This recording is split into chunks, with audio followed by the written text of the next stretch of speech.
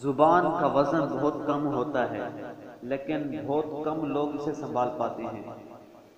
साफ़ जहर है, जब बत्तीस दरवाजों को तोड़कर जबान बाहर आ जाए तो कहाँ संभलती है?